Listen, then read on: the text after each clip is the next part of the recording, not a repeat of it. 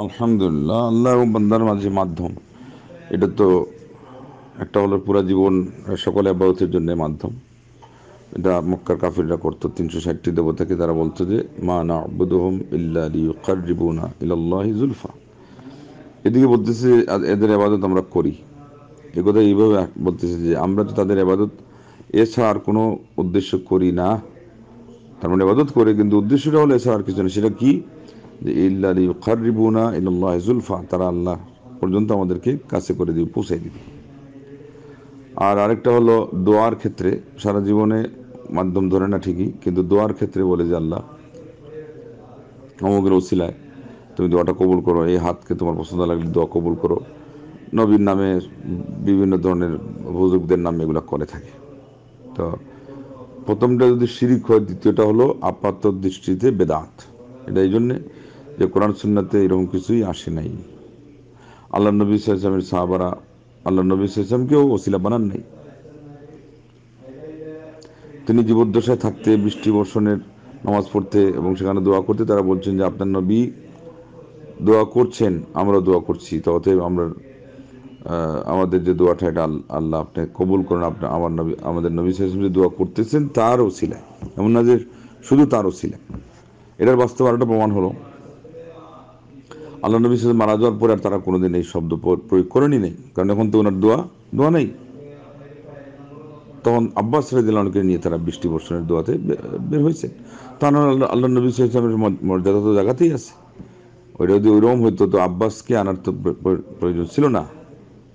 তো যাই হোক, যারা এগুলো বুঝে না, তারাই হলো এগুলো করে এবং তারা আরও মারাত্মক কিছু করে। নবী সাইসলাম ওখানে গিয়ে সাহাবারা কোনো কঠিন কঠিন বিপদের সময় কিছু বললেন না। তারা কবরে, মাজারে গিয়ে তাদের সব কিছু বলে। সুখ, দুঃখ, তারা মনে করে যে এরা কিছু করতে পারে।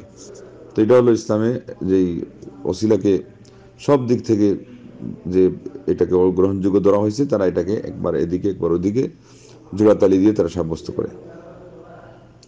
এবং সব মানুষই যে যেটা বুঝে তারা এটাকে কি মনে করে? বড় মনে করে এবং অন্যটাকে তারা ভুল মনে করে। ওসিলা আমরা বুঝি নাই, যারা তহিদবাদী যারা সুন্নাপন্থী। তা আপনি কীভাবে বুঝছেন? আপনার ইমামই তো আপনার এই বুঝ বুঝেন নেই। ইমাম আবহান রহমাল্লাহ থেকে কুদুরিতে সবচেয়ে কঠিন শব্দ আসছে।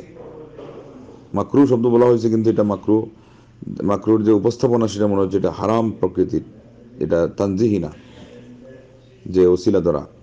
কেউ দোয়ার মধ্যে ওসিলা ধরবে, এটা ইমাম সাহেব অপছন্দ করতেন ওইটার কি আরবিতে বলে, মাকরু। অন্য কোনো ইমাম থেকে এত কথা আসে নাই এই ওসিলার ক্ষেত্রে যত কথা এসেছে ইমাম আবু হানিব থেকে, তো আমাদের যে সমস্ত ভাইরা এগুলো বিষয় বুঝতে চান না। তারা তো এই দোহাই দিয়ে বুঝেন না যে আমরা হানাফি মাঝাবের তো এখানে তো ইমাম সাহেবেরও মতের বিপরীতে। তা আসলে এইভাবে আকিদা বিশ্বাসে ইমাম সাহেবের শত্রু সেজে, আর ফেকি মাসাইলে ইমাম সাহেবের বন্ধু সেজে, যে ওরা কী করতে চায় আল্লাহ সেটা কেউ জানে না। আল্লাহ আসমান এটা ইমাম সাহেবের আকিদা। এটা সালবে সালিদের আকিদা, কোরআন সুন্নার আকিদা, তারা এটা মানে না। তো না মানলে আর কি করা যাবে? আল্লাহর কাছে তাওফিক চাইতে হবে। মোট কথা, এই কোরআনুল কারিমে আলিমগঞ্জ বলছেন, যত শিরিকের বেশি প্রতিবাদ করা হয়েছে, এটা হলো মধ্যস্থতার শিরিকের প্রতিবাদ করা হয়েছে। আর এটা আপনারা নিজেরা চিন্তা করলে বুঝতে পারেন। কারণ যেহেতু ওই মক্কার মধ্যে তো কোরআন নাজিল হয়েছে, বেশিরভাগ শিরিকের বিষয়গুলো নিয়ে আলোচনা হয়েছে সেই জায়গায়। তো সেখানে তো তারা ওই তিনশো ষাটটি দেবতা একটাকে মাধ্যম ধরতো। সেই জন্য ওইটার উপর আঘাত হানা হয়েছে এটা দিয়ে। আর আজকে আমাদের মুসলমানরা একটু তো শুনলেন, দোয়াতে বেদাত করে পুরা জীবনের জন্য বেদাত নয়, শিরিক বানিয়ে রাখছে, যেটা বলা হলো। আল্লাহ এবং বান্দার মাঝখানে যদি পুরা জীবন আমল, আখলাকের সব দিক এর বিভাগের জন্য মাধ্যম বানাতো শিরিক। সেটা হলো পীর। যারা বলে যে যার নাই পীর, তার নাই শির, যার নাই পীর, তার পীর শয়তান, এবং আল্লাহকে পাওয়া যাবে না পীর ছাড়া। এটাই হলো সেই শিরিক। যেটা আইএম জাহিলিতে লোকজন করতো জাহিলি যুগের লোকজন করতো হাওড়াল্লাহ যে মাধ্যম ছাড়া আমাদের আল্লাহ পর্যন্ত পৌঁছা হবে না। আর মুসলমানরা তার, তাদের চেয়ে আরও নির্লজ্জজনক কথা বলতেছে। যে আমাদের ইলিম কালাম নাই আবাদত বন্দি করতে পারি না। তাইলে ওই পীর, একজন বলছে, পাও ধরছি, কেউ বলছে, পীরের হাতে বয়ত করছি।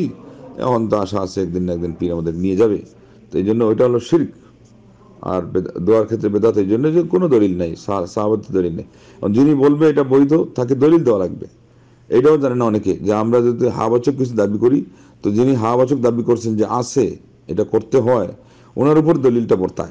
যে উনি দেখাবে, কারণ যে না বলছে, নার মানিতে হলো দেখানোর বিষয় না সেটা সেখানে। আর যিনি হা বলছে, তারটা দেখানোর বিষয় সে দেখাবে। উল্টা গিয়ে দেখেন যে তারা এগুলো বিপরীত করে। যে বলছে দলিল নেই, সে বলে আপনি দেখান। না, এটা দেখাবে কীভাবে? আপনার পেটে ব্যথা, আপনি টেস্ট করে হোক, যেভাবে হোক, এটা প্রমাণ করবেন। যার পেটে ব্যথা নেই, ও দেখাবে কেন?